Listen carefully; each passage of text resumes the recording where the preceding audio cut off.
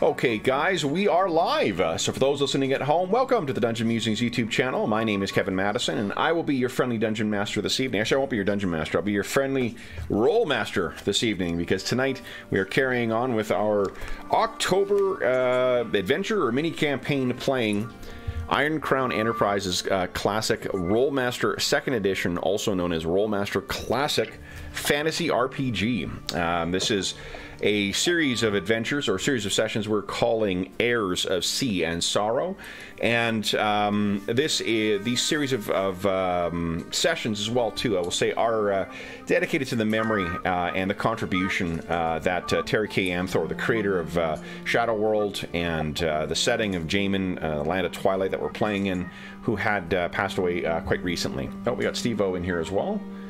Um, I'm going to go through the order. I've got you guys on the screen here. Let me, uh, here we go. You get Steve-O in here. Okay, um, you guys may have, uh, you may still be receiving uh, audio through Roll20 because uh, this is a new game. Like, I'm hearing a little bit of. Yeah, you have to. Yeah, you have to set your to thing to video only every single time. Yeah, every time there's a new game. Here we go. Usually there's a colored thing in roll 20 around who that's from yeah i don't see it i don't see it right now um anyway so the um the so let me uh, introduce you to the stars of the heirs of sea and sorrow uh, campaign I'll, I'll, go the order i've got you guys on the screen here why don't you tell us who you are who you're playing and um yeah, that's uh, I guess uh, I guess it. You're all the same level. So first up, we've got uh, Will. Hi, I'm Will. I'm playing Nimrice, who is a half elf, uh, fifth level animist. So um, yeah, I'm here for uh, turning into wolves and such. Nice, very nice. Uh, next up is Jeffrey. Hey everybody, I'm Jeff, and I'm playing Jawar, who is a human warrior monk. Nice. Uh, next up is John. everyone, I'm John. I'm playing a character known as Zart Ordok. He is a uh, half elven. Uh, what would you call him? Uh, not a nightblade, but uh, he's a element Mystic. Essence user and Mystic. Yeah, he's a Mystic. Mystic. So, so he's a hybrid. Uh, we were talking before we went live that uh, the in uh, Rolemaster uh, spellcasters draw on one uh, or more uh, realms of power. Power is generally divided into three different uh, realms of power, essence, channeling, and mentalism. Uh, pure caster like Nimrice draws on only one of those realms. Uh, Zartor Dak, uh, being a mystic, draws on two, essence and uh, mentalism. Yes, he is a seeker of uh, secrets and uh, also shapeshifter. Nice. And, and then la- yeah. Last but certainly not least is Steve O. Good evening, hello. It is I, and I'm playing a new character tonight. It is none other than another bard, uh, the Bold, and he is fifth level, and he is also an actor part time. Nice. there you go. Modeled after someone I know, I guess. All right. Uh, so, guys, um, the uh, we had our first session uh, on Friday um, that involved a well, a planned reunion, and then there were uh, some events in town. What happened last time, guys? Well, we had a pretty good introduction to the setting, thanks to, to Kevin. Well, let me give um, you. A, uh, speaking of which, let's take a look at the map now. The names are the names. I colored. I'm in the process of coloring this sucker. Uh, I really hate the names. Are very hard to read uh, on this unless you zoom in. Uh, but I have a color version of our map here now. And this is where our, yeah, where our story will be opening uh, tonight will be in Cloven Bay. But the illustration you guys saw, that tower next to the lake, that is Myrna Doom. That is where all you guys are from. Up here. Yeah, we started the session with uh, Dave's character. Yep. Um, Sir or Sarah Kira, uh, Kira yep. uh, Ventier, um, meeting her father uh, in their study, or his study. Uh, then they talked briefly about the return of her brother and the two twins, which is Zart Ordak and his brother Zart Kirk. Yeah, Um, correct. Crick. And uh, she went out to go meet them and uh, the airship that was bringing us in. And then we shifted to Zordordak and Jawar on the airship coming in. We had a brief interaction with the, well, brief, with the, the captain. Learned a bit about uh, Zart's Yep, uh, Lavar. Zedek. Uh, learned uh, that uh, Kara's uh, brother did not join us on the return trip, and that's a uh, uh, issue with going to interfere with a lot of plans that uh, they had, and we uh, arrived. We met and greet, and what else? There was a uh, like a half, not a half orc, but a uh, smelly guy. What was his Uh, name? Lugroki. Lugroki, yes. Um, It was a half demon, I believe, instead of a half orc, right? Uh, they are, I mean, Big stink. Half demon in the sense that like, they were bred uh, tens of thousands of years ago. So he would not really, I mean, he'd be no more, you know, uh, I'm trying to think of the, like, it- it's, it's like the, um, um, the claims to, uh, you know, uh, Indian status in the U.S. gotcha. You know, where it's like, uh, you know, I've got one twentieth of like, no, no, no, you, Yeah. Well, uh, we met with him. Uh, Sir Sakira Ventier uh, came across some dead bodies on her way to the, the town um, that had some kind of weird shuriken embedded in their flesh. Yeah. Um, and uh, she, many ideas around undead came up, but there weren't any signs of them here. But we met with Pig Stink, and he told us a few rumors that were happening about certain activities based on the uh, was it the Duke's son?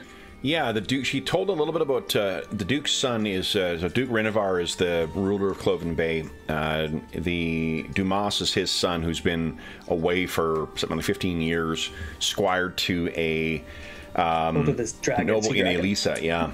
Um, the two things that were uh, important here is you guys heard about the uh, cult of the Sea Drake apparently arriving in town, and apparently some uh, some merchants or something from the city of Lethis. And Lethis is a is really the largest trading city in all of uh, the Rakani uh, Empire. All the uh, this is the setting uh, for Will and for Steve to give you guys uh, an idea where we are here. This is the continent of uh, Jaiman.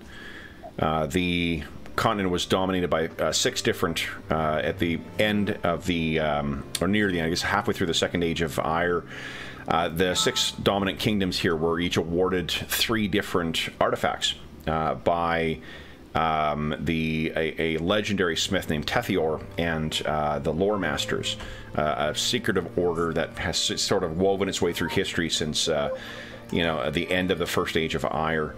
Um, of these six kingdoms that are identified here, there really is only one that remains and still has in the uh, crown in its possession. That's the Phoenix Empire of Rakan. Lethis is right around here, and it is, as I said, like the wealthiest and most uh, um, influential uh, city, uh, really, for trading city in all of Jaiman. You guys are right around here. Our map is in this region right here, in what was once part of the kingdom uh, or the realm of Ulashak, the realm of the Sea Drake. Each of the different crowns and swords and amulets granted by the uh, Tethior and the others had a different kind of signature animal associated with it. Uh, the wyvern for Seralis, the griffin for Zor, the unicorn for Uralon, the Pegasus for Tanara, the phoenix for Rakan, and of course the Sea Drake kingdom of Ulashak. So that gives you just a, an idea of where you guys are in um, in terms of the uh, the wider uh, world. Go ahead, John. Sorry, I interrupted you.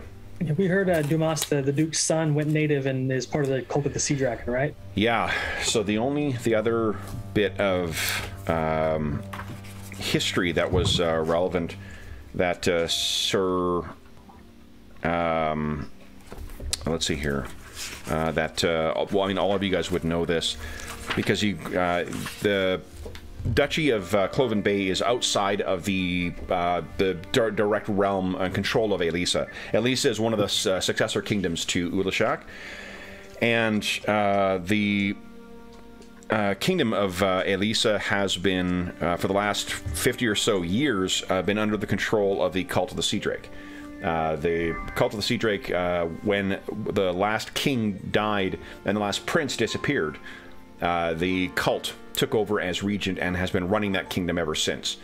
And yeah, they really have been uh, sort of aggressively expanding out uh, as well in the interim. So if the Cult of the Sea Drake is here, or members of the Cult of the Sea Drake, um, that may uh, bode well for um, the the wealth and prospects of, uh, uh, or at least the uh, the prospects to date, uh, and the uh, riches that Cloven Bay has earned, because they're getting the attention of um, the rulers, the de facto rulers of Elisa.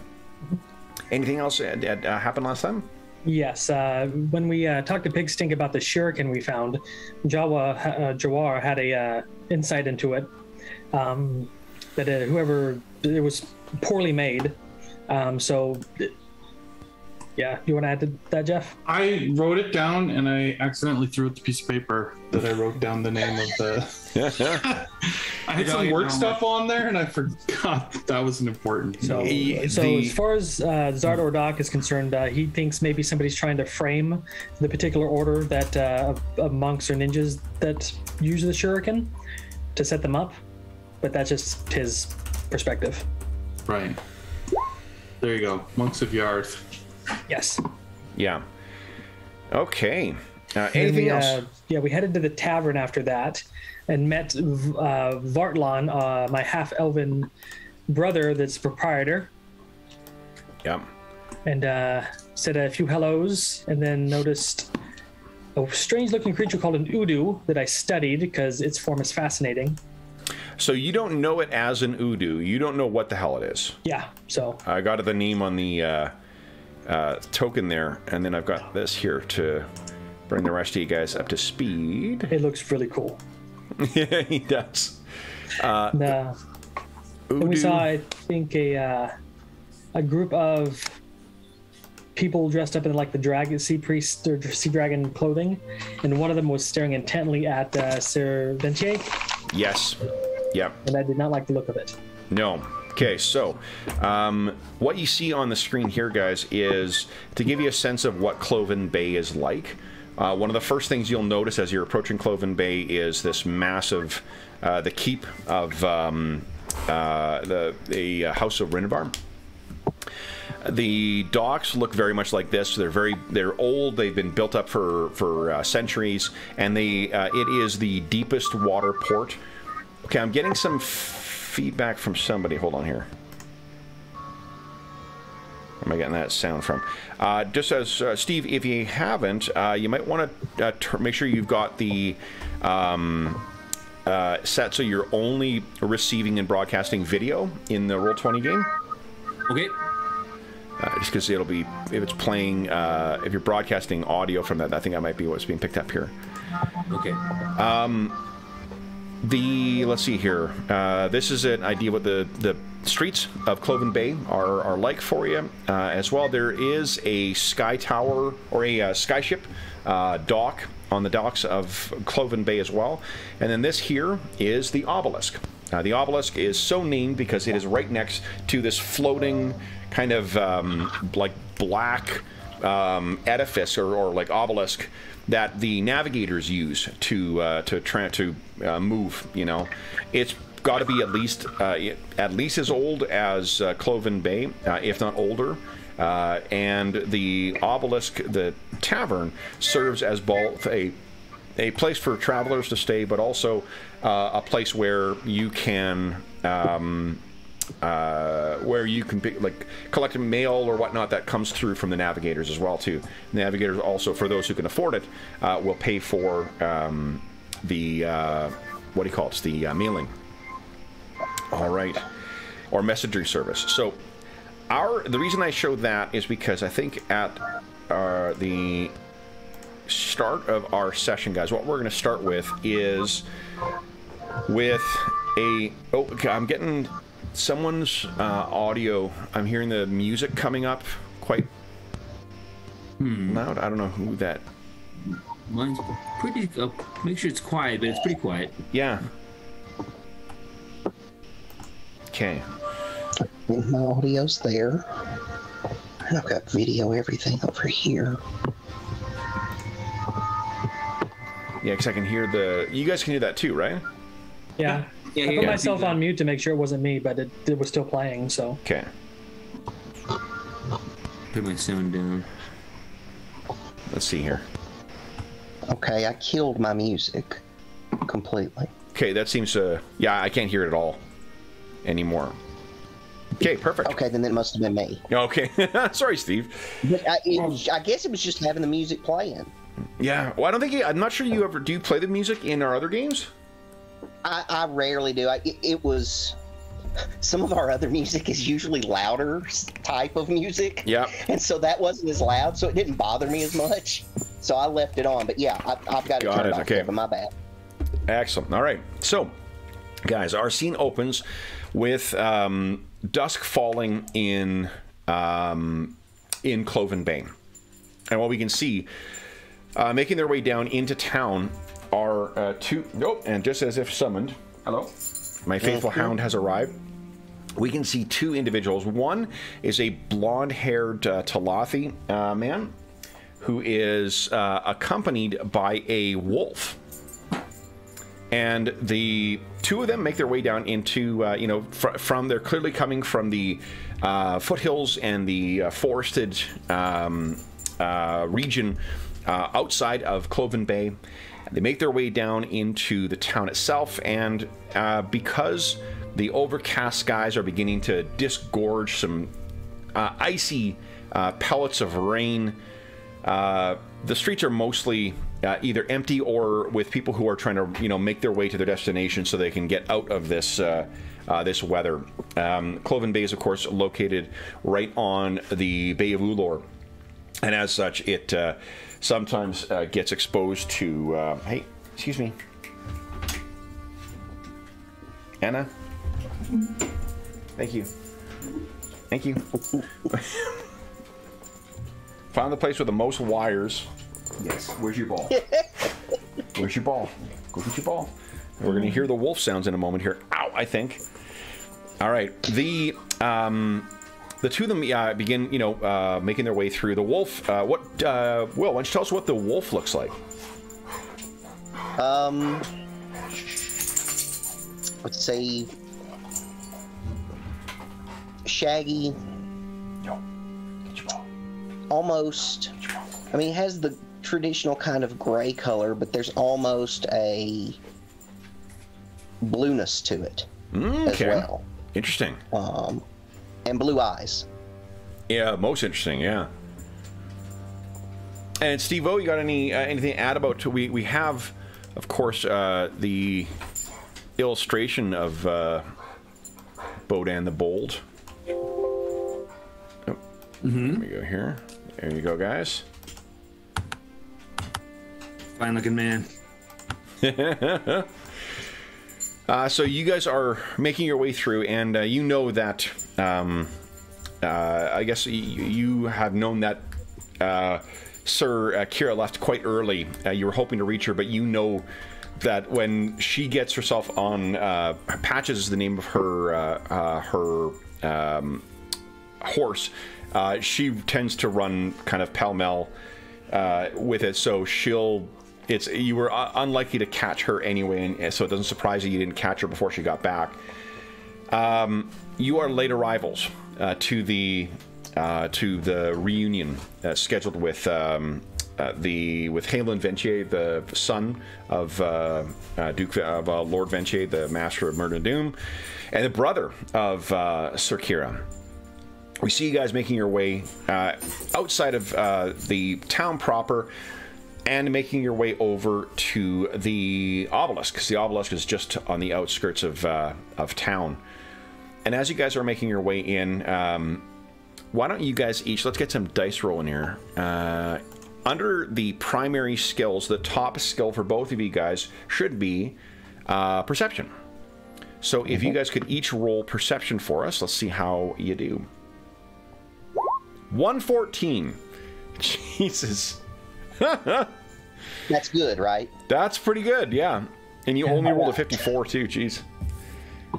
Yeah, the, in this game, high is good. High's really always good, yeah. Eyes always good. High's always good. And Steve O, you able to find that? Um, sorry, where is it again? Under uh, your skills, uh, the primary skills, the top skill is perception, and there should Got be a dice on the right side of that that section of the sheet. There you go. Okay, Here you There you go. So um, you can see that the, the rain is kind of coming down. You guys are a little wet. Um, Nimrice, you look over. Uh, oh, do you go by uh, Nimrice or Woodwolf? He goes by Nimrice most of the time. Nimrice time. won't say okay. So Nimrice, you look over and you can see Patches is in there, um, and it looks like uh, the stable boys are sort of like taking the, the saddles off and whatnot too. But you can see that there is a bundle on the saddle that she didn't bother to bring in. Now, one of the things about Myrna Doom is that uh, Myrna Doom is a uh, also kind of a like library. Uh, it's been built up as a house of a place of, of uh, scholarship, and this looks like a bundle of scrolls or something. The um, li- the librarian or the master of the uh, the um, collection is someone named Lillian, uh, a former student at the Griffin College. Lillian, uh, very rarely when someone needs to transport a book from or tomes from one place to another, has sort of a like a fairly recognizable way of, of bundling them up, and that's sitting on her uh, on um, Sir Kira's uh, saddle still. The saddle boys or the stable boys seem to be kind of talking back and forth about what to do with this stuff. Should they bring it in or whatnot? What this tells you is she's normally not that careless. Like this is not a small thing. This is imagine like a bundle of like four or five, uh, you know, good-sized uh, books, uh, kind of bundled together and then secured against the elements with um, you know oiled leather and whatnot. Um, it's unusual for Sir Kira to be so careless with something that Lillian would value so much. It's also weird that he has these here, that she would allow these books to be transported out anyway. So, having seen that, what would you do? So I'm still in wolf form, right? You are, yeah. And it takes you no time at all. Okay. You- Like basically, it's it's a fifty percent action to transform back. Yeah, I'm gonna transform back into my elf self, my Okay. bipedal. There Yep. we go, bipedal self, Yep. and um, speak to the the stable hands. Okay. I will take these books to her. They all they kind of uh, are startled by uh, your sudden appearance, and they sort of look back and forth uh, uh, with each other. And um, elves in this setting are um, closer to the Tolkien tall, you know, uh, elves. So you probably are, are quite um, an imposing presence. They don't give you any guff with it. Hand the books off to you, and then you're able to um, to head into the um, the obelisk uh, proper. So, Okay. let's talk about what we're seeing inside. Okay, guys. So, there we go. So, as you guys step in and out of the bad weather, let me switch over. Is this the one I want?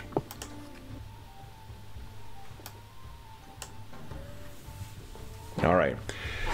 So there's some music being played in the um, in the obelisk, and the obelisk is quite busy. Uh, it's it's not unusual for it to be you know uh, a, a fairly uh, busy destination, but uh, tonight uh, definitely um, is is one of the busier nights that you have uh, have seen here. Um, Bodan and Nemrice, you've both been here before. Obviously, uh, Nemrice, you spent you know, uh, some early years here, uh, fostered with uh, Vartalon.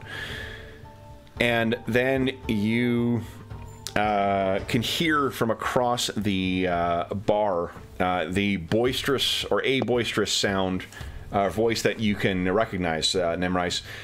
Is that my other brother? and what you can see, Nimrod smiles, waves. see, he comes here. Oh, not just one set of brothers, another set of brothers too. Come here, Woodwolf.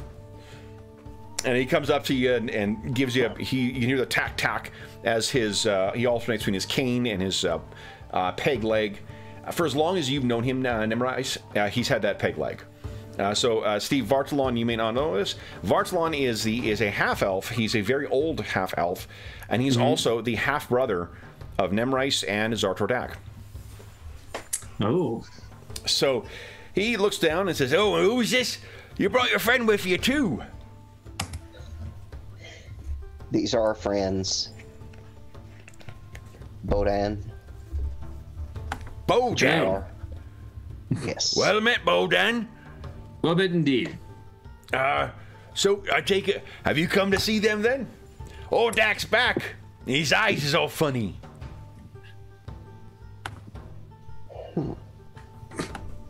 Uh, he leans uh, down from the bar where he's sitting and uh, I'm a picturing mug. you guys at a table. There's enough Oh, of you that you would need a, a table. Okay. Yeah, he raises uh, his mug over to Nimrice and nods at him.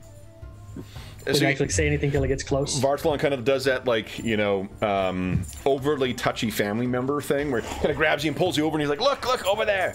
There he is. There's old Dak. Look at him, all back. I wave too. at my Oh, but I got. wave at my brother and head over there to the table. Okay. So you walk over, and then um, Jeff, why don't you tell um, Nimrice there's there is one other person here who he has not met before, uh, and that is uh, Jawar. What does he see as as he walks over to the table? Um, I think at, at this point, um, Jawar would be just quietly sitting in, in the corner. He's he's maybe even got his hood up so people can't really quite see his eyes and exactly where he's watching. Um, he's used to taverns uh, resulting in trouble, and so he doesn't really drink himself, but he's seen what the drink does to people, and um, most often it leads to boisterous uh, activities, which lead to brawling in his history, and Yeah. so he's sort of always ready for for anything to break out in a brawl, and he seems to be here with some of the loudest, or well, now with some of the louder people. So Okay. Uh, so yeah, that, that's what you see uh, there as well too, and uh, he, uh, Jawar seems to be positioned uh, fairly close to and behind uh, Sir Kira. Now, Sir Kira doesn't. it- It's not a um, you know a um, a big change for you. You've seen Ki- Sir Kira in the last few months, uh, but Zartor Dak, oh, he certainly looks different. John, why don't you tell Will what uh, Zartor Dak looks like, or, or Dak Oh, looks yeah. like?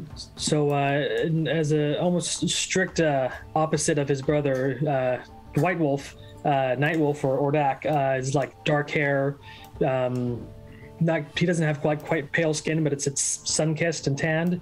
Um, but his eyes are the uh, the interesting bit. Like you used to see, they were dark eyes, um, but they've got this. Uh, the light catches them just right. It's like a silvery sheen from behind the retinas, which you might be familiar with because I'm guessing that uh, shapeshifting does that.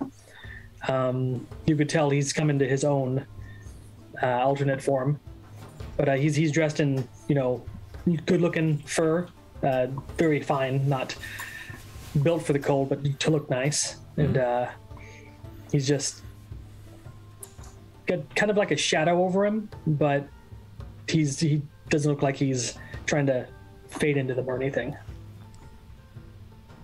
He's seen some stuff, and he's looking for more. So the other, uh, you, you can tell as well that Sir Kira has a fairly, um,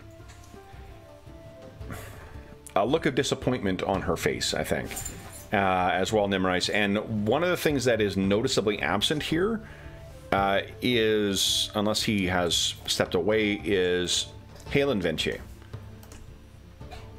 the son, the one who went off with um, Zartordak and Zartakrik he's not at the table and whether I'll let you roll forward that that great uh, perception roll that you got from before there's not an empty chair with a drink in front of it. That's not necessarily something Nimrice is disappointed by. Yeah. So, um, Interesting. Uh, Bodan, and uh, now Bodan, you um, you are one of the scholars who has been um, at uh, Myrna for the last uh, a few months. Uh, so, Circa Kira is known to you. Uh, you've seen Woodwolf around as well too. Uh, Nimrice uh, usually stays in the forests and the and the mountains around uh, Myrna Doom, but uh, you you're at least familiar enough with him to travel with him. The others are strangers to you, though. Uh, Zarthodak, you've never met before. Uh, Jawar, you've never met before. Although, um, Bodan, uh, under your secondary skills, you should have a skill called Lore History. Lore history, indeed. Yeah, why don't you give us a, a Lore History check? All right. Where did it go? There it is. More history. There it is. And roll. It's a good score. And 102. What's up? Nice. So what you can tell is uh, Jawar, he wears the distinctive uh, white robes associated with a, um, a an order of martial artists called the Changramai Order. The Changramai monks are, uh, you know, for 400 generations have been producing some of the finest um, hand like uh, unarmed warriors uh, of anywhere in uh, Shadow World. Um, the the monastery you know is located on a continent to the south called Emer. And uh, one of the ways that you see them uh, at times is as uh, mercenaries. Uh, one of the things they do is they'll hire out as bodyguards or you know protectors or guards or things like that. The Griffin College, for instance, in uh, in Rakan has uh, is staffed by uh, Changramai or has guards that are Changramai monks. Strange that that one you have not seen one here thus far, but the way that uh, Jawar is standing behind or near uh, Sir Kiera makes you think that uh, someone may have hired him as a bodyguard. Hmm. Yeah, I mentioned that. He's uh, kind of holding himself like a bodyguard. Uh, who are you mentioning that to? Oh, uh, I'll whisper it to, to, to, to the gang. Okay. Under his breath. Okay. yeah. Okay. So you uh, say that. Um, Jawar, do you have any response or? Um, I think he would just nod at him, like sort of like as he's saying it, just sort of like, um, you know, yes, but without, you know, wouldn't say it out loud. Okay. He would nod at him. So as you guys, um, they they can make uh, certainly they can make space at the table for you guys. Are, are you going to join? Nemrice, Bodan. Oh yes. Okay. Oh yes. I think at this point, maybe Um, Jawar would stand up and stand behind uh, Sir Kira to give up his seat for the newcomers. Sure. newcomers. So Bodan and Nemrace, once you get yourself uh, situated, you do a quick look around the room, and the things uh, that um, stand out. For one, there are a couple of uh, Sirkakar um, uh, sailors or warriors or raiders in here. The Sirkakar are a um, uh, more like lighter skinned, lighter haired um, uh, ethnicity that comes from uh, the northern part of Jaiman. Um, they have a lower level of, of uh, technology than what the uh, southern kingdoms uh, do. So if you picture as like kind of like Viking raiders type uh, things or traders, that's a you've got the right idea from that. Uh, there are also some uh, mercenaries uh, in here. I, I mentioned that um, Seralis was one of the kingdoms, the kingdom of the uh, Wyverns. Uh, that place has been collapsed uh, since before the end of the Second Age of Ire and the Wars of Dominion. Seralis has been destroyed for more than 6,000 years. Uh, and the people, nice. Hi, Marjorie. Uh, the Actually, my sister. Oh, hi, hi, John sister. Uh, the um, the thing that that has um, uh, sprung up from there, the the hardy people who survived in the ruins of Seralis, they've kind of made their their um, made a name for themselves as mercenaries. Uh, there are, uh, as uh, John mentioned, there are the priest of the Sea Drake and the priest guards with them as well too. But the most interesting thing that you can see in here is Uh, where is he? Yes. Rarity. What are you crying for? There's no crying. There's no crying. Hit your ball. Um, navigator. So the one thing this illustration does not show uh, for, I I showed this to the guys uh, on Friday, but for Will and uh, Steve, this the guy who is sitting at one of the tables uh, across from uh, one of the most unusual creatures you've seen looks exactly like this, but the one dis- difference is there is a brass and gold sextant that is uh, hanging around his uh, neck and you know that to be the um, uh, what do you call it? The uh, symbol of one of the guilds of the uh, navigators. Sitting across from him and enjoying his dinner is this. Now, Nemrice, you're not uh, particularly well traveled, uh, but Steve, I can tell you, it, it doesn't matter how well you rolled on your dice. Um, you could not identify what species this thing is. It's it's carrying on a, either it is an extremely well trained pet um, because it se- it has all the appearance of having a conversation with the navigator um, as it's picking food from a shared plate between the 2 He stands about uh, maybe a little bit more than um, uh, three feet tall, but not much more. Okay. And other than that, the the it's just the usual crowd of sailors and, and whatnot uh, in um, you know in the obelisk. Um. Now, uh, anything? So with it now, you, you sat back down, and Nemrice. It has been eight years since you've seen Ordak. Yeah, I'm I'm really happy to see my half brother, my younger half brother, who the closest thing I really feel to, I guess, appear. Um, so I'm I'm excited to hear how you have been. What have you learned? Well, uh, they tried to teach me a whole lot of um, essence magic, but uh, my true calling was mentalism.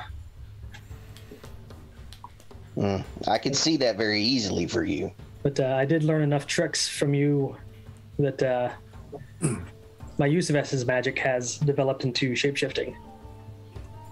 Mm. Believe that runs strong in our family. Well, I'm not sure if my brother, the the other one, uh, displays much, but he hasn't shared much of his abilities with me. Secrets. We can assume that uh, Ik- uh, Zartakrik is meeting with the Duke at this point. He's probably with uh, the um, oh, what's his name here? Uh, Dorek.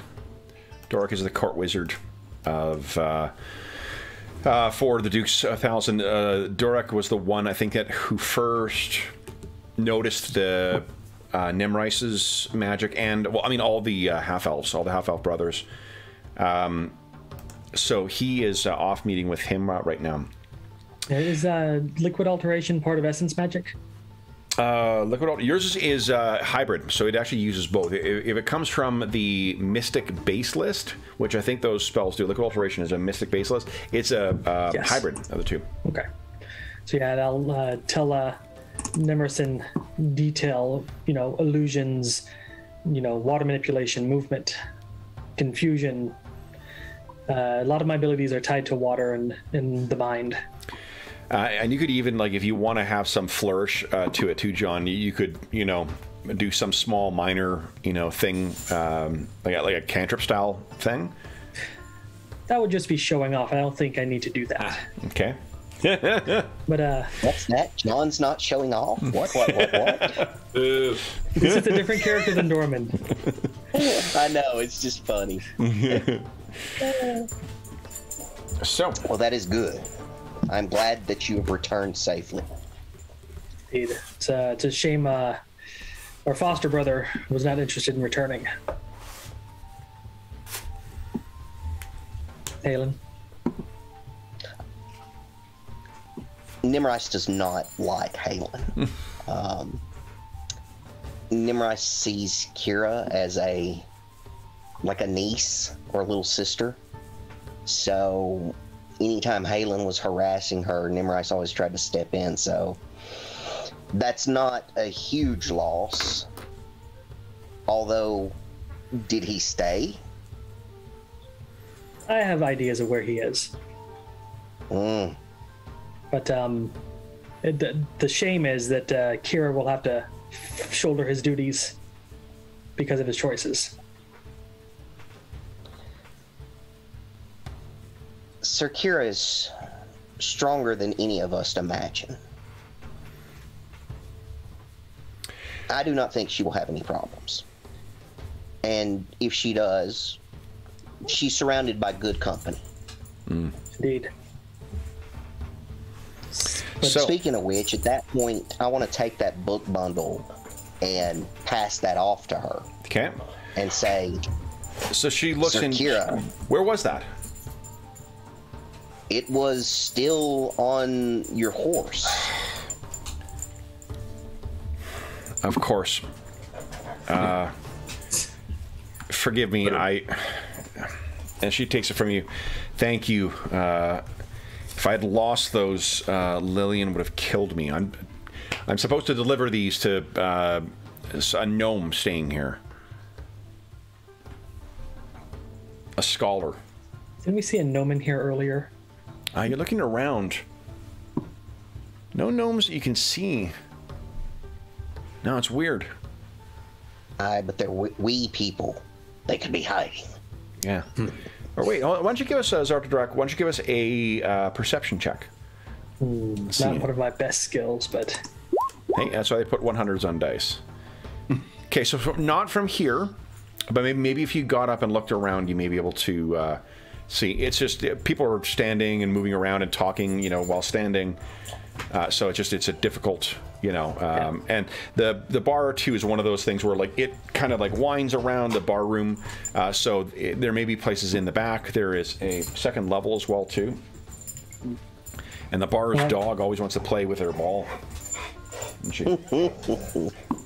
But uh, I would like uh, look over at uh, Kira, uh, Sir Kira and say, uh, "Do you uh, you know where this gnome is, or where he's supposed to be?" I was told he was staying here. Uh, the name she gave was uh, Nigelius Hearthcut Cole. Nigelius. That's a mouthful. Indeed. Yeah. Nimrice looks over it. Look, looks over at Zardadak and says, "Why not ask our brother?"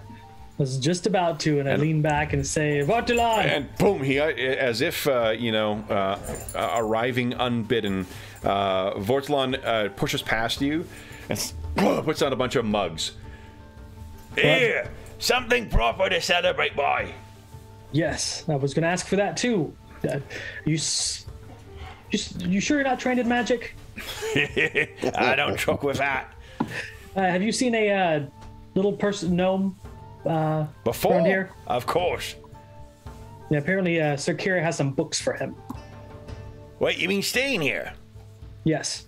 Yeah, it's at uh Noi Nigelius. He's off by the That's fire fella. reading. Ah, Boy, you got business with him? Boy, you okay. waste no time, old Doc. no, You just I, walked I- in here. I do not know him, but Sir Kira has business with him. Oh, I see. Well, so Kiara, you'll find him over by the fire. If you need him. But first, and he pushes the mugs kind of around to all of you guys, picks it up. The Sons of Tavar! The Sons of Tavar. And mugs are all taken. Um, why don't uh, Steve give us another uh, lore, uh, either regional or history, whichever one you'd prefer. Regional or history? Yeah, I can't remember which. If you're, you may have the same score in both of them. Actually, you're all right. I do, but I think that I'm going to pick regional anyway. Okay, sounds good. Did it work? Nope, and just uh, to oh, it did 160. Holy shit, Steve! Fucking hell! All right, so you sort of like uh, at, at, you stop for a second and you're like, wait a minute, Sons of Tavar. So, Steve, one of the things you know about is there is a notoriously dangerous uh, Dyar or uh, dark elf pirate named Tavar Blackheart. And one of the stories you've heard about Tavar Blackheart is that um, his way, because the elves in uh, this setting they live forever unless they die by violence or some other specific wean. Um, he is a yes, he is a um, uh, has found homes in many ports, and is said it has left a brood spread across the region to uh, uh, to um, extend his influence. Can't trust I anybody like you can family, right? But Tavar Blackheart is there is a uh, um, an island nation called Placidar that is just to the south of uh, Jaiman. Mm-hmm. It's right here. This place is completely, mostly dominated by dark elves and dark elf pirates. Not merchants, not traders, pirates. And Tavar Blackheart is one of the most notorious of those. You're looking around and you realize that, like, shit, like, these actually might be some of the sons, the offspring of Tavar. Offspring. Well, how do I feel about that? Do you think? You tell me. Well, I don't like men who have offspring, or broods especially. So, there's that. You know, half of our purpose here, man. All right. So then, with that, um, what would you guys uh, like to do next? Anything you should do in, in uh, the bar before uh, there may be some things happening in the bar as well too. Um, but anything you guys wish to do in particular? Well, that the Dragon Priest group is uh, fairly interesting and has a. Sea what I feel like the Sea Drake, yeah, and has an unhealthy uh, interest in my foster sister. So I'm paying a lot of attention to them. I th- okay. So you're paying attention over there. Um, I think that it was only Jawar who noticed that though.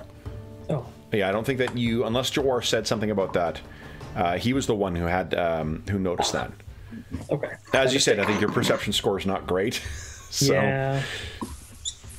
I was I was thinking something similar. I I think at some point, um, like you know, Jawar would you know, as a natural, if we're here for a while, he would excuse himself to go to the washroom at some point. And I think on his return, he would try to sort of stealthily as possible, you know, be close to their table for a bit to see if he can hear any of their conversations Sure. sort of returning to our table. So um, one thing does happen, like the um, uh, the privy would be located outside. So you you know step Yeah, yeah. outside. The That's what I figured. rain's coming down. You put your hood up, and um, would you give us a perception roll again? I don't know why people complain about Rolemaster being complex. Clearly, the only thing you do is roll perception and lore. Yeah, basically. The other thing is, uh, you know, It's not clench until you get your spell off because you never know if that's going to happen. Not Yeah. a great D100. So what? Uh, okay, I guess uh, one thing to mention is you guys do have. Uh, there are four of you today, which means you have eight points of astonishing fortune. Oh yeah. Ooh, Actually, all four. that 'cause worries it's, me. it's only a two-hour session, so it'll be four uh, points of astonishing fortune. But um, you could re-roll that if you like, Jeff, or just uh, y- y- Uh, yeah, sure. This seems Okay. important enough. Let's do it. okay. Oh, pfft. Probably better. Slightly better. Remember, so that um, the for these types of things, whether it's a static uh, maneuver, normally if, if you're not rolling against someone, a 100 is what you need, and then otherwise it is you'll get part of the success. It doesn't mean it's not a binary like success fail unless it is. Oh, that's right. Yeah, yeah, right. You get 85% of the success. Exactly. So you you know you may pick up something. Um, you get out and the wind is beginning to pick up and the and the uh, rain is coming down, and um, you think of what um, I guess Nim Rice. One thing you would be thinking of is that. Uh, Sir Kiera mentioned before that those bodies were uh, in the stream. Like what she had found was there were crows that were circling over these bodies in the in the, uh, the uh, one of the creeks or, or um, um, uh, small little streams uh, that cuts its way through the mountains around Myrna Doom. Uh, she saw that it seems like the bodies were not pro- properly carried away, and there had not been rain for quite some time if there's rain right now, she did not bring the bodies with her. If the rain uh, picks up even more, uh, it may cause the stream to rise, and it may wash those bodies downstream, as the original people intended. She saw the crows, did not see the bodies, but she saw a stain of blood or a stain on one of the rocks, went down, explored further downstream, and then found the crows circling over where there was a fox that was picking at one of the bodies. The bodies, as she told you, had ink stains on their hands and seemed to be uh, likely from one of the southern regions. Uh, soft, otherwise hands, uh, probably traveling scholars. Why So- were they slain? Why are they in the woods? Yeah, and this is the um, broken uh, weapon that they uh, she successfully identified as a shuriken. Uh, was something that was pulled from their throat. Right. A broken And bit about of how it. far away was this from here? This was about halfway. So um, just as you get uh, kind of out of the uh, the hills and whatnot of uh, Murder Doom, and you get into or the mountains of Murder Doom, and then get uh, the old home, and then down into the foothills, there is a cabin there that's kind of like a halfway point. So if weather is um, if you're trying to get up there in the wintertime and you find yourself not able to carry on you can winter in that cabin. She had just passed that cabin and come across a bridge and it seems as if these bodies may have been cast over the bridge. There were three of them. All of them had the same uh, stains on their hands and they all seem to have been killed in the same way. And as context this you cannot think of in your lifetime anyone having been killed on the route up to Murder Doom it's wild, but I mean, with proper precautions like, you know, driving off bears or, you know, keeping wolves at bay or whatnot, uh, or just, you know, not traveling when the weather's not right, it's a safe trip. Uh, there aren't things right. that. and these, this is this is human on human violence, not animal violence. Absolutely, and then the that uh, monks of Yarth, uh, they. Uh, what uh, Jawar learned from last time was that the monks of Yarth uh, seem uh, similar, uh, similarly uh, kind of secretive in uh, ancient order, like the uh, Changramai. Uh, only the um, the oh, did we lose John in? Oh yeah, ju- he's back. Oh, there he is. No. That was weird. Um, uh, they seem to be in uh, service to something called the Unlife, or they're said to be. Uh, Oh. Sir Kira also shared news uh, or story of about 4,000 years ago, one of the kings of uh, uh, uh, Elisa uh, was murdered, said to have been murdered by a, uh, a monk of Yarth. Uh, then, Jawar, what you do is you get out, you, you make your way to the privy, um, and then on your way back in, you hear kind of a flapping sound. And you look up to the top of the uh, one of the eaves, I suppose, around uh, the obelisk, and you see maybe your eyes are playing tricks on you. It's a seagull, but the feathers on this thing, like it's got that you know distinctive silhouette to it. But the light that's being cast from one of the open windows on the second floor by one of the guests catches this thing's feathers, and the feathers are as ink black as what a raven's feathers would be. Well, that's new. And you look, and then whoever's on the second floor closes it, and you can't see it any longer. Closes the window so the light being cast out is gone. It may still be there, but then you hear kind of a flapping of wings. I'm not sure you've ever, in all your travels, ever seen a black seagull. No. Nope. I think that would creep me out a little bit, and I would get back inside. Okay. So you hurry yourself back inside.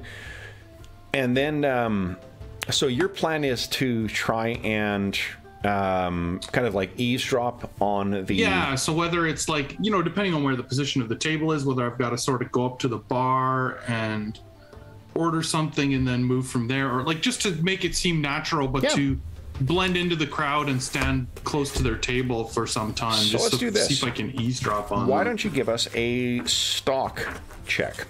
In uh, Rolemaster, the kind of stealthy thing is stalk hide. Uh, be- So you're, I'm pretty good at it. I think you are, and I'll give you a plus ten percent to it as well. It's because there's a, it's a busy bar. One good roll. Yes. Oh my. Holy shit! All right, so let's see what they have to say. All right, so yeah, so you grab your, um, you know, grab a, a drink from uh, uh, Vartalon, and then you weave your way through the uh, the crowd, and um, you can find, uh, you know, get yourself uh, sitting at a table where you're kind of like your back is. You seem to be sitting with other people, but your back is to kind of everybody. Right, where Right, you're, you're yeah, just yeah. like you're in the middle of the crowd, but no one, you're not part of any one grouping. Um, and the priest is talking to the. Let's do this maybe because I think he's not going to be talking about uh, anything um, overtly, you know, uh, evil out loud. Give us a uh, perception check. Um, what this is just to see if you overhear anything. They seem to be like, um, or he at least seems to be nursing some food and having uh, some drinks, there or having a drink. There's food in front of everyone else. Ah, Okay. not get over 100 on these perception checks. Uh, so what um, what he says, what one of the you know, I'm picturing you're going to be there for about maybe 15 minutes. Yeah, like just to get the gist of what they're talking about, essentially. the not, not much of of, uh, of import. I mean, really, they're almost not talking. Like uh, they, the guards are all sitting around, and then there is uh, he, uh, the priest, is at the center, and um, then he. The only things you overhear is he comments uh, that uh, we'll be meeting with uh, the duke tomorrow. Uh, ensure that everything is ready, and he says. Uh, I think I'll have a word.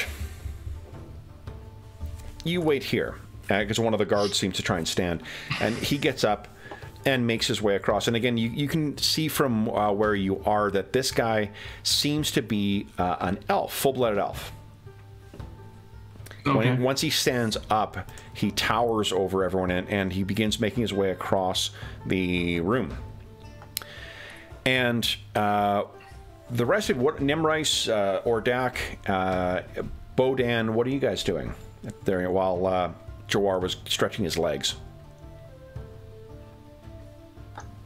Anything you guys I to think do? I'm. I think I want to talk to the rest of them about these bodies, and perhaps we should go and investigate, as this is basically a murder. And, Good uh, suggestion. Rodak says, that. uh, with I suggested we ride home because, you know, it's not a good sign, but it's the horses cannot see in the dark like we can. And it's halfway back home, which is several hours away. Well, also, you guys don't have horses. Uh, like there may there are stables at uh, Myrna Doom, but uh, Sir Kira didn't bring any extra horses down here, and you can't really rent them to bring up. You just you just walk.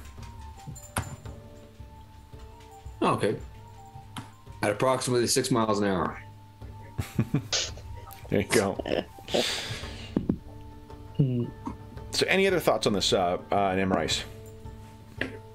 Sir Kira may have thoughts on it as well too, but I will leave it for Dave to uh, make his decision as to what uh, she does. yeah, I was thinking maybe we could leave her here with the books and the gnome to that business, and then perhaps we could. So she is quite insistent on going back tomorrow. Um, she realizes that she did forget uh, she was supposed to meet with the Duke uh, as well. Has not done so. Uh, but her, her father is going to want to know that Halen didn't return immediately.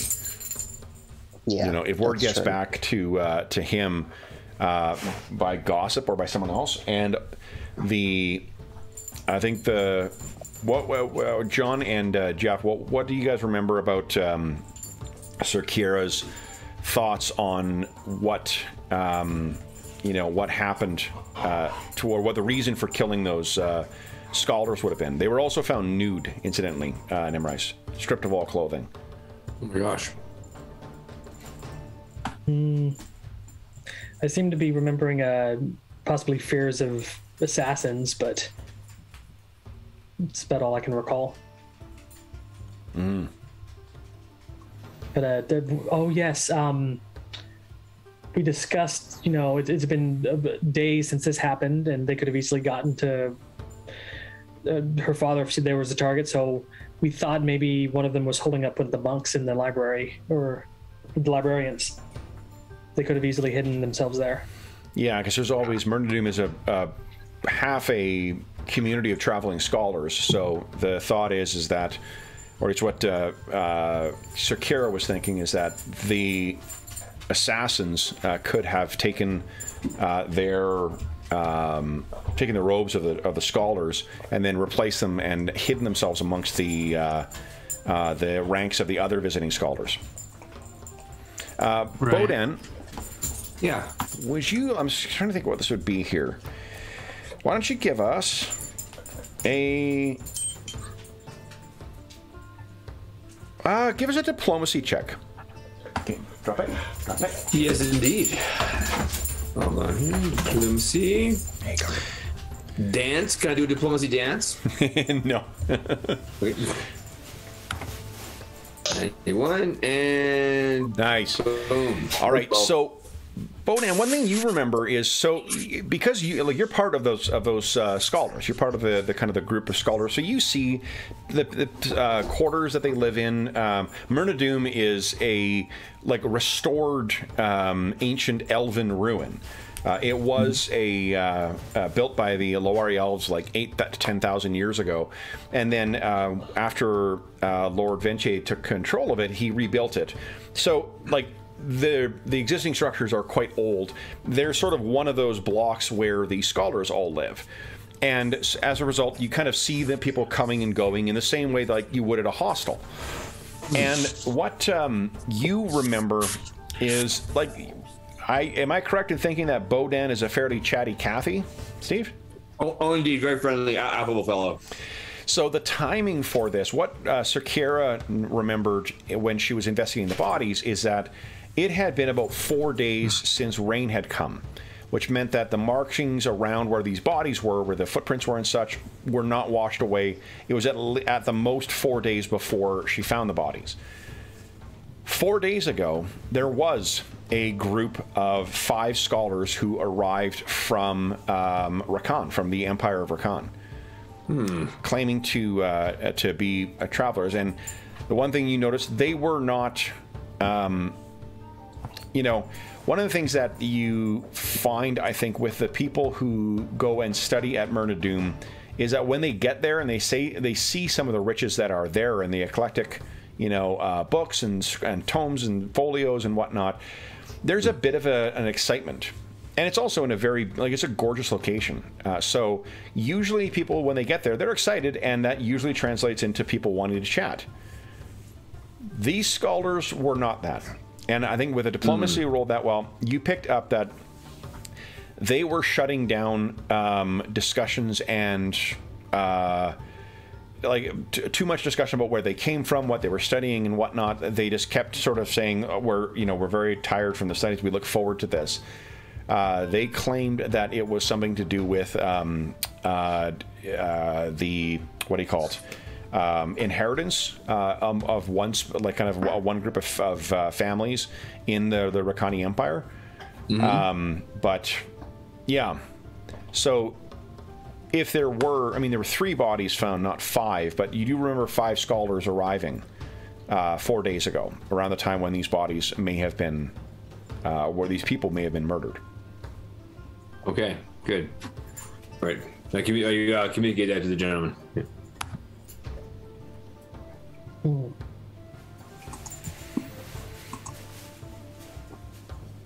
So while you guys are discussing that, um, Jawari, you see that the priest uh, stands and begins making his way over across the bar.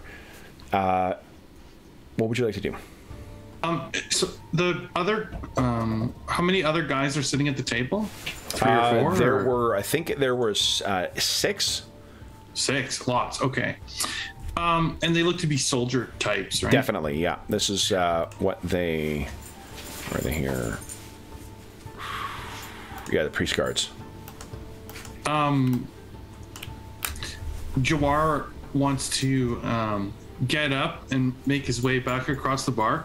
But what he wants to do is he wants to bump their table on the way by, just so that he can watch them uh, grab their drinks and whatnot, just to kind of judge their quickness and their dexterity. Like he's sort of he's sort of uh, judging them by how they react to him bumping into their table. Like, Yeah. are they clumsy? Are they Are, and are you trying to conceal that as well? The- yeah, like just trying to act drunk. Like you know, he's trying to appear to be Okay. sort of drunk and bumps into their table, or it's crowded. Like he doesn't Sure. want to make it obvious. He's trying to make it. so why don't you give us a trickery Careful. roll, please? And if you don't have it, it's just D100, right? Uh, if you do, I think you do have trickery. Oh, I do have trickery. Yeah. Oh, okay, it's at the secondary skills. Yeah. Yeah. Man, I got a lot of tricky skills here. Oh yeah, look at that. Yeah, yeah. So you, how do you think this? I mean, you could even, you know, uh, you could have like uh, push a chair every so slightly so that it hits someone else and then they fall into the table. Yeah, and they knock their table over, kind of thing. Yeah, yeah. Okay, so they kind of fall on it, and uh, these guys, um, you know, like they're certainly not uh, Changramai monks, uh, but they are reacting pretty quickly. Right. They're yeah. They're they're well trained. They seem sober. soldiers. They seem yeah yeah. Yep. Yeah, you definitely. Okay. What you can see spill out from each of their glasses uh, is v- heavily watered wine. Mm, Excellent. Yeah. Okay. Yeah. Okay. And you, when you kind of look over your shoulder, you realize that this priest of uh, the Sea Drake is making his way over towards uh, the party's table. Yeah, that's kind of what I figured. So I mean, I'd be following him, but not like closely, but like you know, Yeah. making my way over there so I don't miss what's going to happen. But Sure. So uh, you're making your way over there, and uh, I'll let you ca- that 142 year old for stalk. I, I will let you keep that, and you're easily able to, to you know make your way towards them uh, and get yourself in a position where you can overhear. Are you making yourself known to this guy, or are you? um, I I think at this point, I mean, I wasn't really. I, I just wanted to see if they would say anything. Now that he's introducing himself, I think I would return to my position of. Like maybe come up behind him, not to startle him, but then move and stand behind uh, Sir Kira again. Sure. So uh, he, this um, elven man uh, walks up towards you guys, and he, very much like he's not holding a um, uh, a phoenix like he is in the illustration. What he's got in his hand is a disc that has a dark charcoal background with a um, a stylized sea drake uh, on the on the front or on the in the center of it in uh, silver and he kind of stands there. Good evening, all. Forgive my interruption. Uh, my name is. My name is not uh, terribly important. Here. I am Brother Liran, the Order of the Sea Drake. Might I have a word? Of course, please. Very kind, very kind. And he seems to, um, uh, he se- steps forward a little bit further.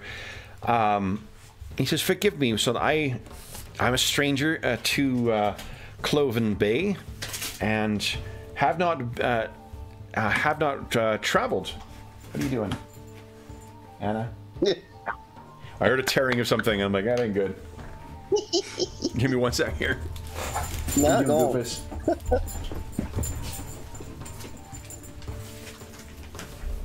good girl, good girl. She found. Uh, I, I've had for those listening at home. I, I've been on my ass the last uh, um, day and a bit uh, because of food poisoning. Uh, and uh, Anna Banana has been just an absolute peach, like by my side the entire time. So she's acting up a little bit tonight. That is completely understandable after I'm being so well behaved for two days. I goofus. Um, tore up some campaign notes, and so I, I think that's just a suggestion from my co-DM that I should rethink that uh, that idea. Um, so um, sits down uh, or uh, stands still uh, and uh, says, "The forgive me, but," and he, he turns to uh, Sir Kira and says, "F- "Are you the daughter of Lord Ventier?" And she kind of looks up and says, I. I am. Um, and he says, And your name? Your name is Kiera. Is that right? And you guys don't need to make rolls for us, but you can see that she's a little unnerved by this. And she says, Yes, that's correct. And what business is it of yours? And he says, I forgive. Uh, I, I mean no offense uh, by this. Just your father must be a true. Uh, he must be a loyal uh, servant of uh, Elisa and the line of the Sea Drake. And Sir Kier says, What do you mean? And she says, Well, you. you were surely named after the Lost Prince, were you not? And I think uh, anyone who's got any training in lore history, you guys will remember uh, the last uh, prince, the one who went missing 50 years ago, his name was Kir Iannis. Curious. And show uh, Jawar, you're sort of seeing this from the over the counter, but Sir Kira is looking very upset by the conversation that she's having with this guy, and uh, all of you guys can pick this up as well too. And she says, "So, what? What business? Uh, wh- what mattered? Uh, is it who I was named after?" I says, "Oh, nothing. Just." Our attention has come. I've we've to this region. We've we've heard of the great works that your father has built at Myrna. A great trove of knowledge, I hear.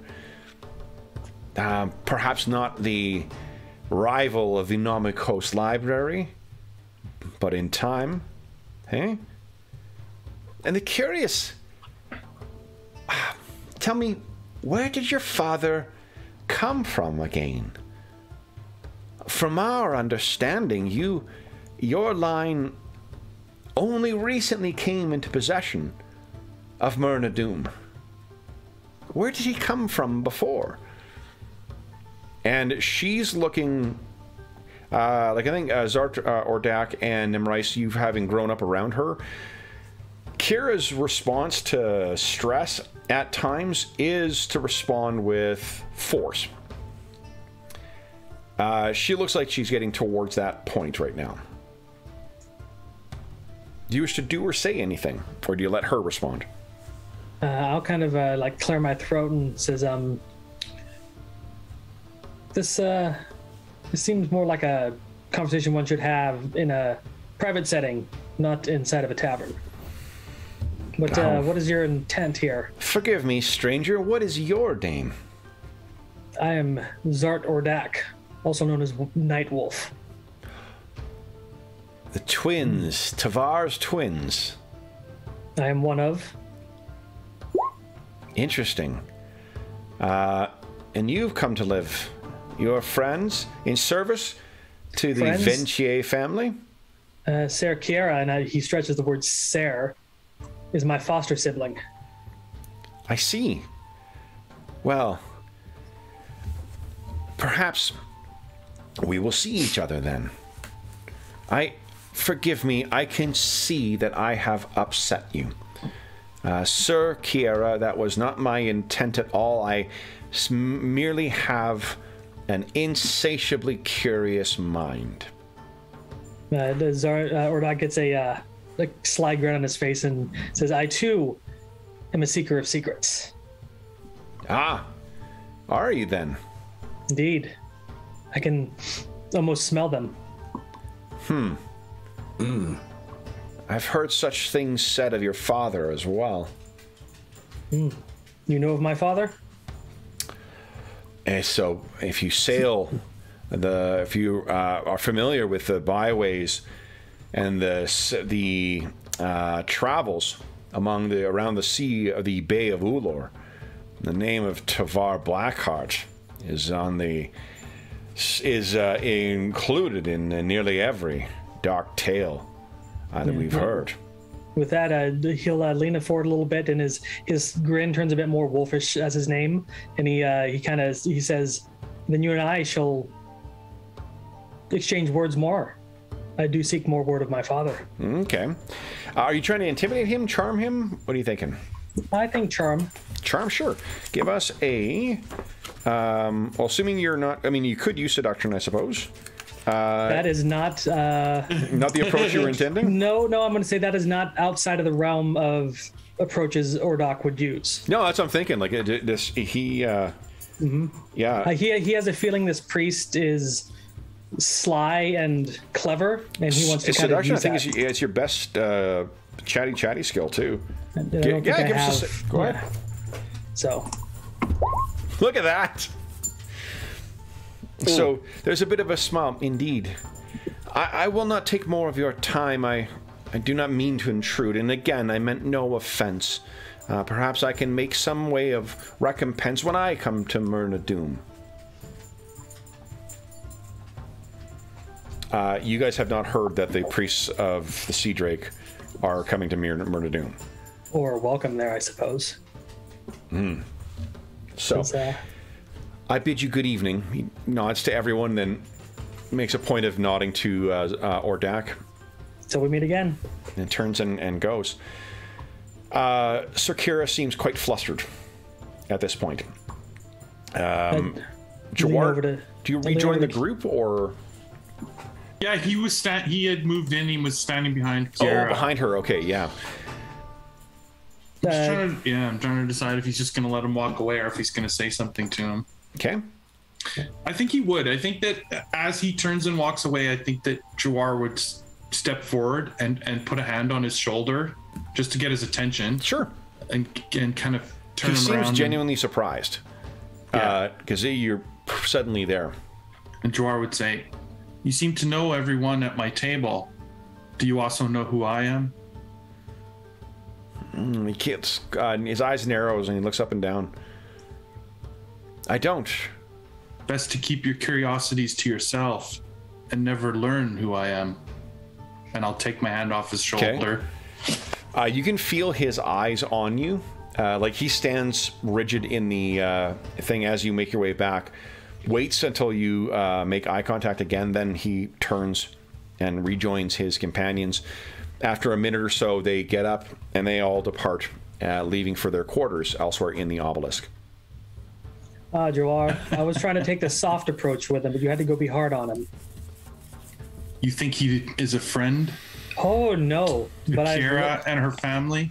I have learned that uh, it's best to keep your enemies closer than your friends. Well, Zart, you will soon learn that my position is between Kiara and the dangers of this area. Jawar, Zart is my l- last name, if you would say. Call me Ordok. Hmm. Yes, Ardok. Otherwise, you'll confuse me and my brother. Okay. Nimrice or Bodan, what do you make of all this? Nimrice has absolutely really no social skills. He he never really has. So it, it's almost it's almost perplexing the interchange, especially between Ordak and the priest. He's really just like he's just really confused. Oh, honestly. N- That's Nimrice. really where it boils down for him. It was just a polite pissing contest. Ah, I I- will. Hmm?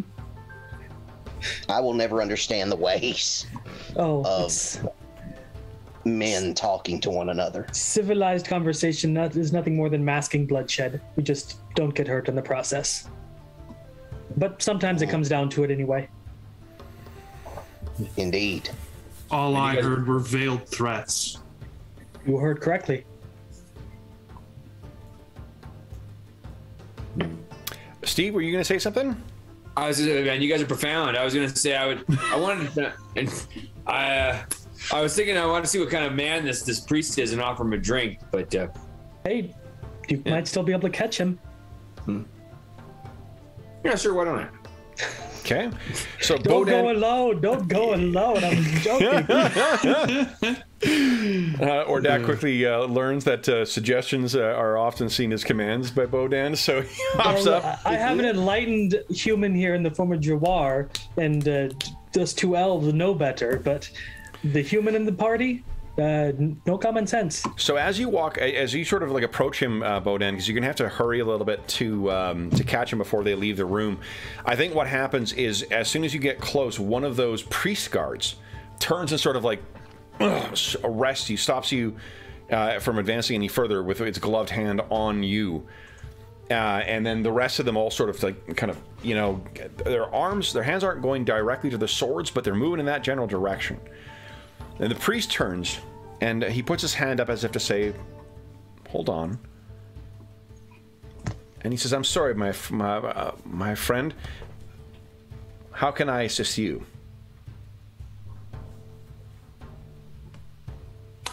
Me? Yeah, I was just wondering. uh, I was, uh, you know, I, I just wanted to catch up and make sure, uh, you know, that we were all uh, on the same page and maybe uh, get to know you a little bit. Could I offer you a drink? That's most kind, uh, my friend. Tell me, do you do you keep with uh, the teachings of the Sea Drake? Well, you know, I, I haven't had much of an opportunity to learn much about it, to be honest with you. I would be curious, though. I am, I am a, as it happens, a bard and a bit of a lore keeper. Uh, that's just one of the uh, areas of beliefs I don't know much about. Maybe you could tell me a bit about it. I would be happy to discuss the particulars uh, of the faith and perhaps show you what the Sea Drake can offer. But as we say, um, the tide is ebbing, and I must retire. Tomorrow, perhaps? Will you be staying Uh, in the- Cloven Bay? Or, wait, you were with the others, no? Oh, yes, yes, I was. Yes, I, was, I overheard your conversation. then uh, perhaps we will see each other at Myrna Doom, and we can discuss the particulars of our faith in greater detail then. And That'd be he great. Steps forward, he puts his hand on your shoulder and says, The Sea Drake has much to offer the faithful. and kind of holds your eye contact a little longer than is uh, comfortable, lets you go. Abide. Uh, good evening to you. He turns, leaves, and then once he's his uh, guards sort of go along with him. Um, for the rest of you guys, anything else you wish to do this evening, or anything you wish to discuss? Indeed. Uh, Ordak will lean back in his uh, chair and cross his arms as he watches that exchange with uh, the bard. He can't hear anything, but he, he leans over to Kira and says, uh, Do you have lip reading? I think I might. Actually, some of you guys do. I do. Give us a lip reading check. Let's see if you've heard. You missed a couple of words in there, but you got the gist. 98 is uh, you get the gist of, of what was uh, said between them. Gotcha. Yeah, lean over to Kira and say, um, how'd he get under your skin so quickly there? What business is it of his for what my father did or how I was named? I could tell he was upsetting you, but uh, why? Why should you give him that much power over your mind? Uh, perhaps you should be prying into more of your secrets or your family, uh, and then see what uh, happens and I see how you to- feel. Would love to know my past more. She shakes her head uh, and goes back to nursing her drink. Well, don't be that way. Here, have some of mine.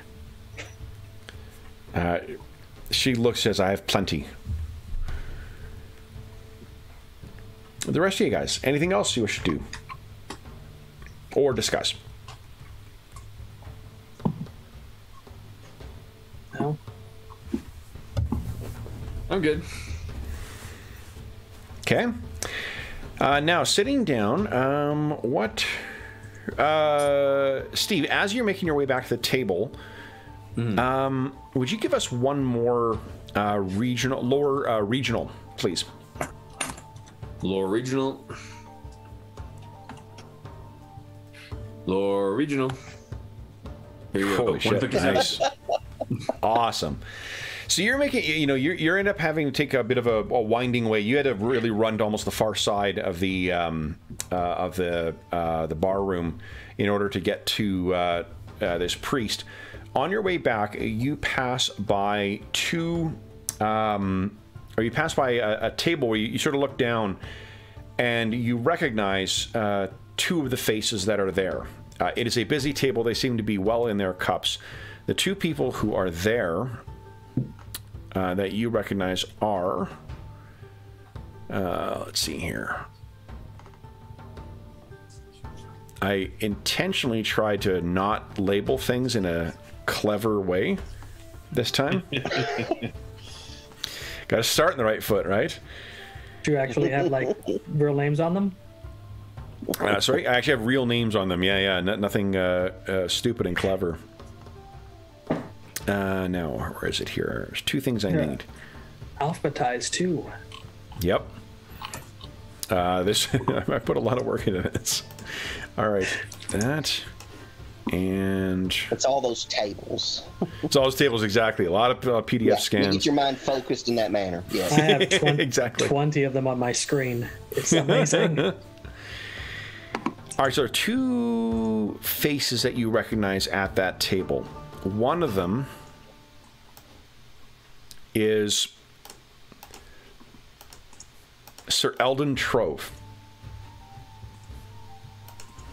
Now, if the name sounds familiar, let me uh, just bring you over.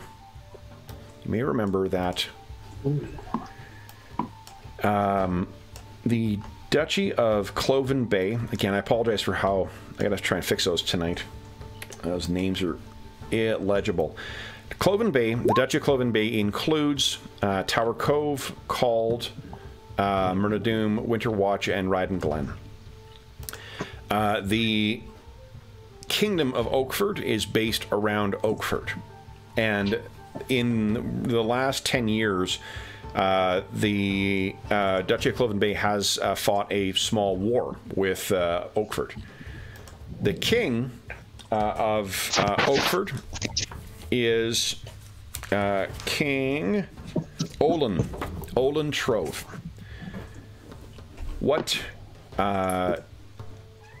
Steve or uh, what uh, Bodan uh, sees there is Eldon Trove. Eldon Trove is one of the sons of uh, King uh, Olin. Sitting next to him is Lady Eustace Trove. Also known as uh, the bastard daughter of King Trove. She is actually a bastard, but she has been given uh, Trove's name anyway. Uh, she is older uh, than Eldon. Uh, hold on, no, she isn't. She's younger than uh, Eldon, but she seems to be the favored of Trove's things. The reason that's important is because you know um, at the many of the tournaments and um, Grand Melees and whatnot that sort of make up some the summertime events in the region. Sir Kiera has thoroughly and utterly humiliated Sir Eldon and mm. uh, has made an enemy of Lady Eustace.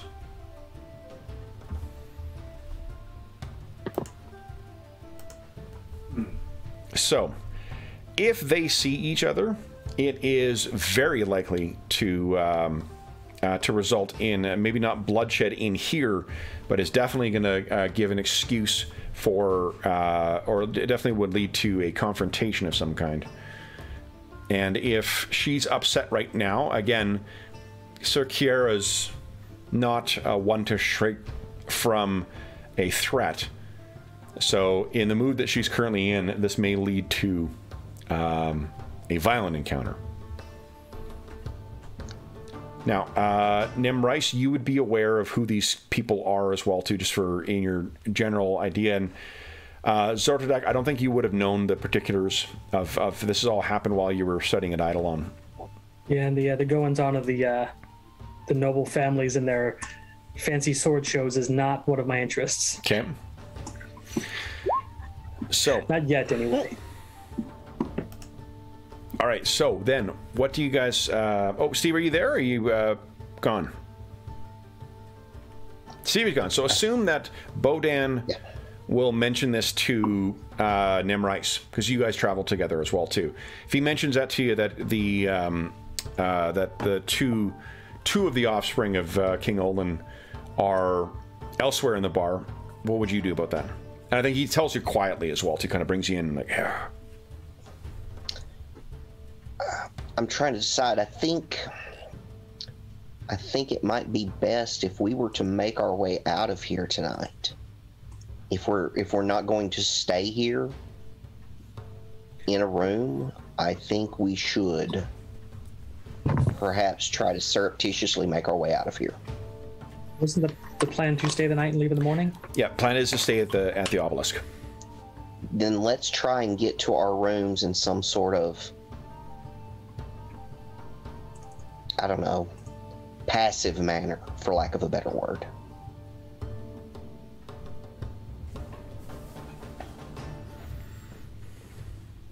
Well, I have ways of uh, masking presences of people and myself.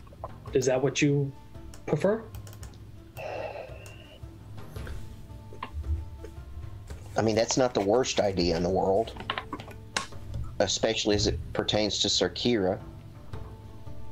Hmm, But would she be willing to uh, flee? Well, it's not fleeing, it's merely retiring. May- Maybe we can simply suggest she uh, or we all retire early, and uh, Yes. I glance at Jawar. Maybe cause a distraction so their eyes are averted elsewhere while we move to retire. So as you guys are discussing this, you realize that something or someone has walked up to the end of the table and is standing next to Sir Kira. Oh, hell. And that is Udu, Oh. the this strange thing. And from where she's sitting, it's about the same, almost the uh, same height as her. He seems to be looking at her, and she looks down and seems a little confused at first, and says, "Yes." And he puts his hand out and says, uh, in a odd voice, uh, "Going."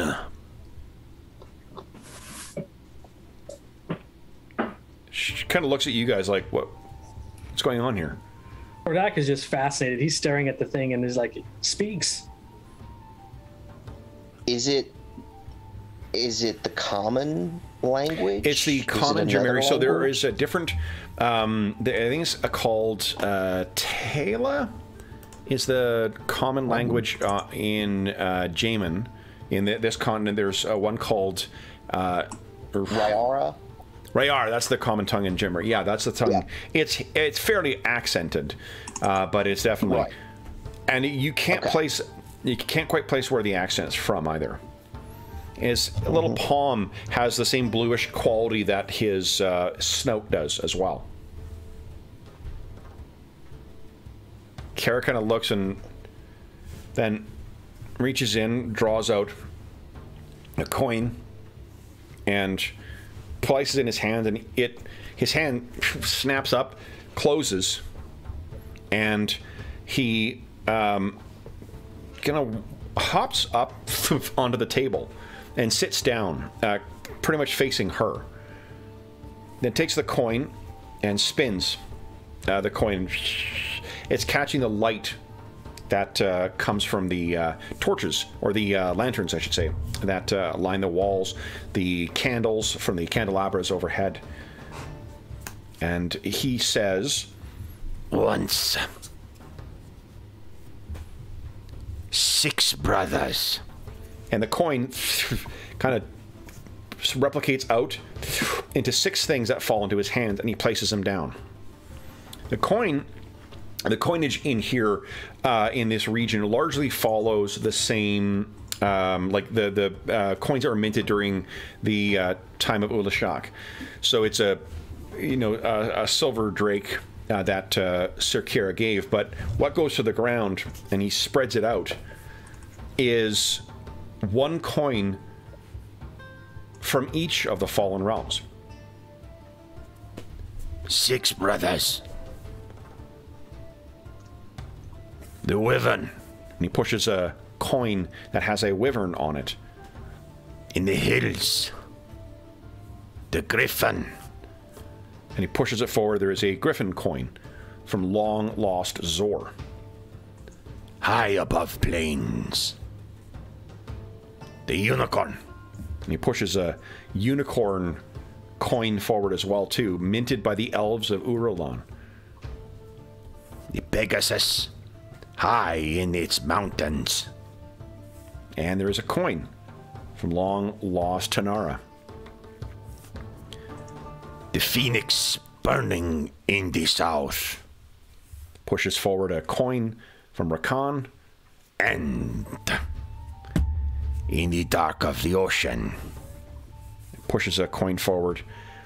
And it is the same uh, Ulashak uh, silver drake that she gave him. each friends, each strong in its home. Then And he sort of gestures. the white wizard came. The white wizard told the griffin, or the white wizard gave a gift.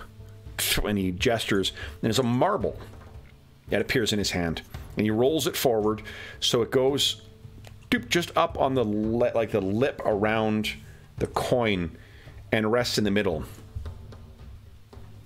gift to the griffin, and only then learned when he opened it that it burned with brilliant light.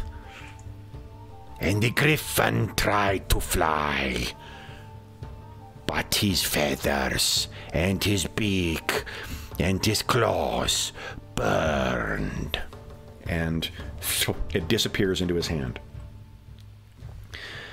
The wyvern thought himself brave, told by the wizard, Stand against your enemy. And when that enemy came, the griffin's head was split, and his heels burned. And with a wave of his hand, the wyvern coin is gone. The unicorn saw this and fled, cowering into his forests. And soon, He spins it. It kind of spins around on the tip of his thumb. the unicorn disappeared. And with a gesture, it's gone, and all you see is that blue palm. never to be seen again. Seeing his brothers burned and cloven and hidden, Pegasus hid in his mountains where he withered and died. And with a gesture, he makes the Pegasus coin disappear. The sea drake, fearful, turned to the white wizard and said, What can I do? And the wizard says, Take care, your enemies come from behind you. And so Drake turned, and seeing a mighty tail, beat it, tearing and falling into the water. Only then did he know it was his own tail he was tricked to bite. That one disappears. And so, Brother Phoenix only remains told to burn bright uh, by the white wizard, so bright, lighting the waters of the drake, lighting the heels of the wyvern, and singeing the forests of the unicorn. Only he remains. But one brother is clever and tough. And though falling into the dark of the seas, those are the sea drake's home. And so, clever drake he is. Spins uh, the phoenix coin up in the air. and when he catches it and opens his hand, there is a pristine and flawless uh, silver drake. He places it down in front of Sir Kiera.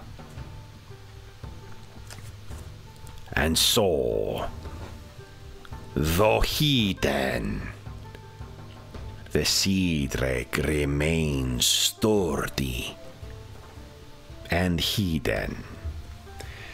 So he pushes the coin towards her, hops off the, the table, he nods, and then holds up the coin that she gave him. Thank you. He turns and waddles back into the crowd. I'd have given him a gold one for that. That was awesome. Uh, so coinage is, remember, is quite different. Gold is very, very expensive. I know. Yeah, okay. That was awesome. So, with that bizarre interruption, he then goes back and joins his um, his companion, the navigator, and then doesn't seem to say, like he doesn't give you guys any further mind. Sir Kiera is sort of staring at this coin. Um, what do you guys do? There was some discussion of going to, to bed there. Um, if you're look keeping an eye out, Jawar, because you're standing, it's probably easier to see. The two Trove children are still there.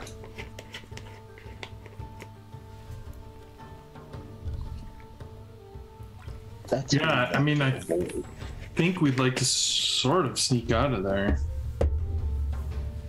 Okay. Tell me how you want to uh, how you want to get uh, Sir Kiera out of here. She's not. Um, uh, she's definitely not going to be like in a mood to pick a fight. It seems right now, but she's pro- she's not the type to shrink from, you know, um, from any kind of confrontation.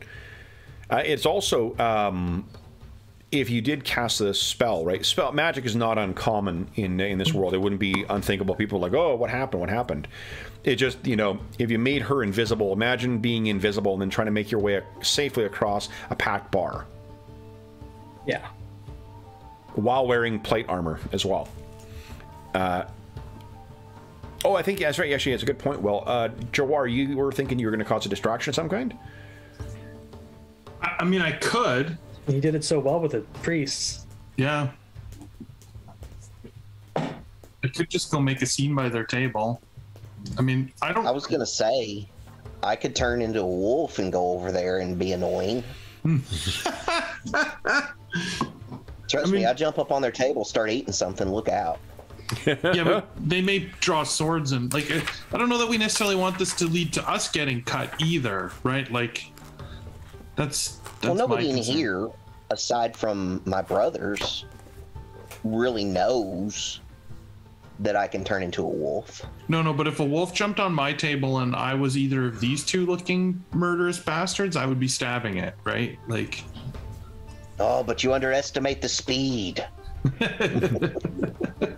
if you want to go for it, I mean, Jawar's not stopping I'm you. just- I, I'm just throwing out suggestions. no, totally. And I'm saying go for it. It's exciting, but I'd be ready to get a blade in the gut. I mean, he is pretty fast, based on what I can read. Yeah, but do you think our uh, half brother would appreciate that? Causing I a don't know. I think he kind of likes. He kind of likes the rowdy nature. I could Oh. be wrong. he has been running a bar for 200 years, right? I did kind of grow up here, at least in my early days. this is the kind of shenanigans that just freaking happens. Yeah. You may not have been aware that Ordak, but uh, Nimrice spent his formative years uh, with um, uh, basically uh, uh, being with uh, Vartalon being his father. Oh. Well, I've heard many stories from uh, Nimrice, but uh, his rambunctious days were not one of them. He would not have uh, done well to encourage me. So what do you think? Is that what you'd like to do? Is just uh, you do know do you say, that they uh, they tend to like they are armed uh, and they do act they do uh, tend to respond with violence. The the uh, both of them, um, Sir, uh, the um, son is a bit of a, just a brute and a bully. Um, she's a genuine uh, Lady Eustace is a genuine psychopath. Oh, nice. Yeah, We I like her already. yeah. give her a wink. So yeah, what do you think? right? Run over there and lick her on the face. I have a better idea. Go ahead. Let's order them so many drinks they get drunk and pass out. Let's have a drinking Not the world's worst idea. Yeah. Are they? Would you not expect they would ask who the drinks are from? Yeah, I mean,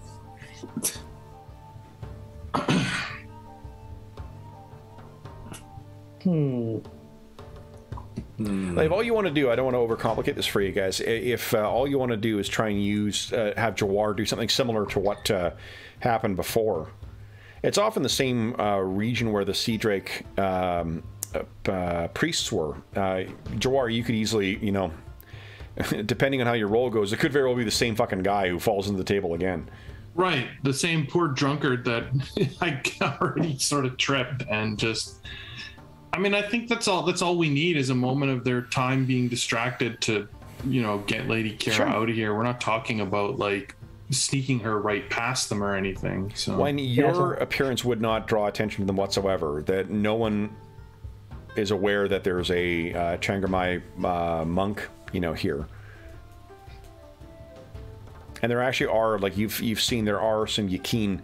Uh, Jawar's ethnicity is Yakin, and uh, there are other Yakin uh, people who live in in Cloven Bay. So it, your skin tone would not, uh, you know, draw attention either. Or, you know, Bodan could always go over there and regale them with some story. Yep. Let's see here. Oh, did we lose Jeff? No, this roll 20's been a little weird. It has. It has been Yeah. odd tonight. I think Jeff might have frozen up there. Hold on. Jeff in. Wonder how they would Yeah, he dropped out of the, the hangout too. Oh, he's back. Okay, good. really crashed. That was weird. yeah. So, uh, Jeff, why don't you give us a. Oh, sorry. I was just gonna add a little scene. Uh, just what he was gonna say. Uh, he just says to uh, Ordak, "Save your coin," and he looks at Nemesis and save your tricks. I've got this, and Okay. he'll go and try and make a s- Sure. same kind of distraction. Yeah, give us, I think, another trickery uh, check, please. Or all the ast- oh, no, never mind. Nice. So, what do you, what do you think happens to, to distract those two? Um, I I think it's something very similar. Um, but I, this time maybe I get sort of the the the barmaid or something involved and sort of like you know something happens where she spills their drink and so that way she can just you know oh sorry wipe it up and Yeah.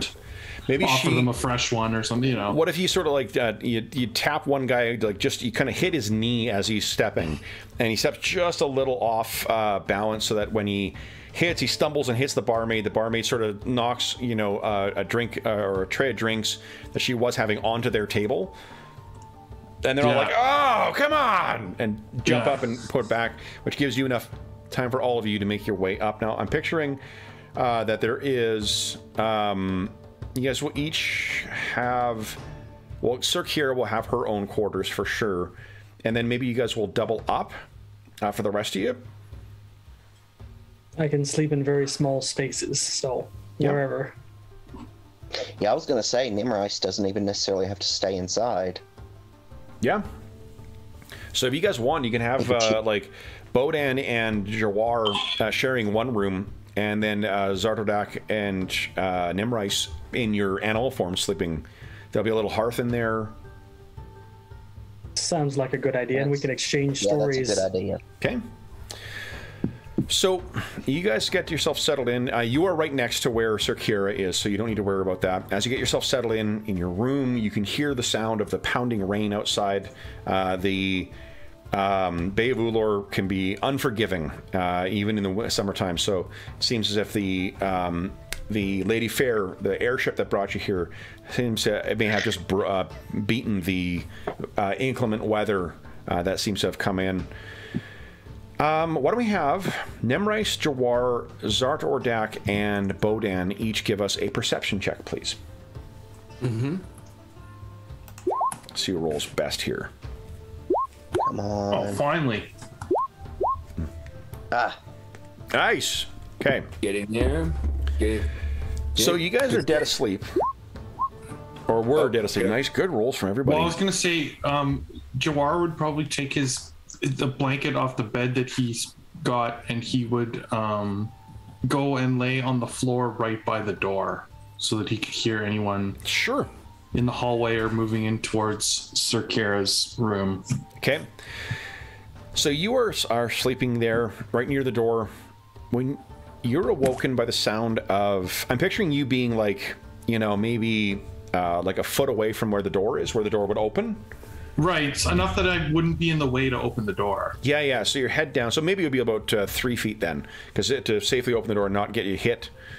Yeah. Um, you hear the sound of. Uh, actually, let me switch up. Oh, we're not in Happy Town no more. Go back to our. There we go. So. You are awakened by the sound. You hear kind of like a sound of something scraping across the floor. Like- and you open your eyes and you can't quite see do you think you would have left the windows like the, the curtains open to try and let some light in or would you be having the curtains closed so it would be in pitch blackness I wouldn't. I wouldn't have worried about that. That would have been whatever whoever I'm sharing a room with. I guess yeah bodan Bodan would have probably. you're on the second floor as well Would Bodan close the blinds, Steve? Uh, I'd, I'd- I'd be delighted. No, would you have done it? Would you leave some light in the room, or would you close them, make it dark? I guess that I, I, I would close and make. Thanks for asking. Make it dark. Yeah. Yeah, okay. okay So it'd be pitch black then. so you could um, there probably is um, you know long uh, thing ma- like long matches or something Oh, i'm assuming your character would have thought about like if you needed to get up and get out uh, there is no light coming from the hallway um, so what do you do jawar something seems to have scraped across the floor right near your face inside the room. inside the room yeah almost as if someone it sounds like someone may have like slid something under the door Um, I think he would probably jump to his feet and, you know, wherever the nearest little lantern is or something that would have been. Uh, probably a, a candle. You know, Or so a you candle, yeah. light a match ca- candle, Yeah. and you light that up. Uh, then with the lighting of the candle, I think Bodan uh, and Nimrice are both uh, sort of stirred. So the wolf uh, gets up, and Bodan looks up from the bed. And what you can see, Jawar, as you make your way over, there's a little um, I guess there wouldn't be a line because it's not like it's dirty or anything, but someone has slid something under the door. And it is a single silver drake. A coin. mm. You pick this up and it's it may be the old I mean th- this is the coin of the realm uh, you know that that you guys would normally spend here. It may very well be the same one that Sir Kira paid to uh, Udu.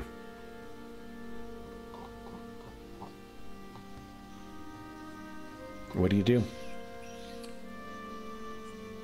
Like what kind of time has passed since the coin was under the door before I can sort of tell it's a coin? maybe a minute or so. Enough time for you to hop up, light the, the candle, turn around, you can see the coin sitting there on the floor. Um, I guess I would open the door and check the hallway.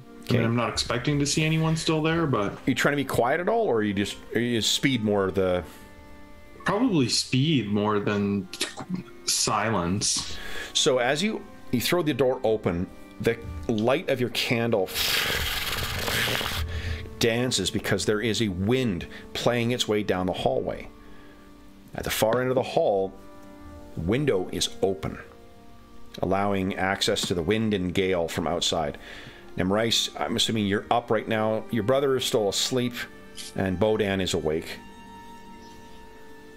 And Jawar, as you uh, the next thing you notice is looking down, there are wet footprints on the ground. and they look like bare footprints, the size of an adult human. And they seem to be heading in that direction of Sir Kiera's room. Oh well, then I would immediately um, move to her door. Okay. So you immediately start moving towards your door, and I think the the um, the light of the candle probably only extends about maybe like five ten feet, Yeah. and that's when you see, as you approach, standing in front of her door.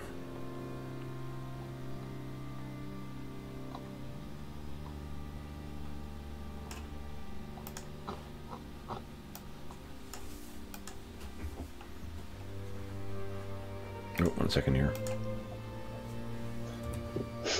There we go.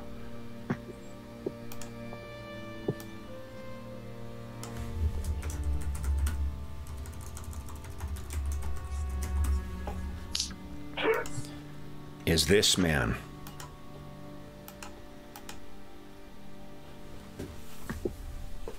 Bare shirt, hmm.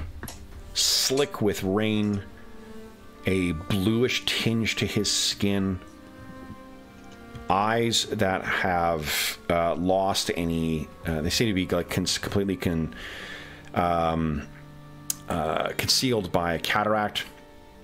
And uh, he does not have two weapons in his hand, but he does have one sword in his hand and a dagger at his belt. And his uh, he is not wearing boots either. He is barefooted his thin gray or uh, whitish hair hanging limp, wet against him as if he had just come in from the cold. And you can see around his neck there is not a wolf medallion there. There is a multi-starred shuriken. And several others hang from his belt. And that is oh, and then Nimrice barks to get Yes. Zartordak jumps up. That is where we will leave our session, guys.